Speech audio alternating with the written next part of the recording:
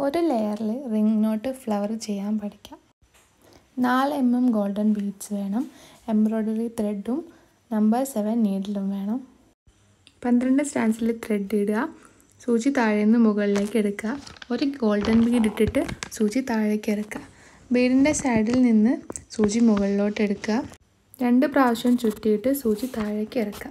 നൂൽ കുറച്ച് ലൂസിലിട്ടിട്ട് വേണം താഴേക്ക് വലിക്കാനായിട്ട്. റിംഗ് നോട്ട് വേറെ രീതിയിലും ചെയ്യാം കേട്ടോ അത് വേറെ വീഡിയോയിൽ കാണിക്കാം. രണ്ട് പ്രാവശ്യം ചുറ്റിയിട്ട് സൂചി നോട്ടിന്റെ ബാക്കിലേക്ക് വേണം കുത്താനായിട്ട്. ഇല്ലെങ്കിൽ ഓരോ നോട്ട് ഓരോ സൈഡിലേക്കായി പോവും സൂചി മുകളിലേക്ക് എടുക്കുക. രണ്ട് പ്രാവശ്യം ട്വിസ്റ്റ് ചെയ്യുക. എന്നിട്ട് ബാക്കിലൂടെ താഴോട്ട്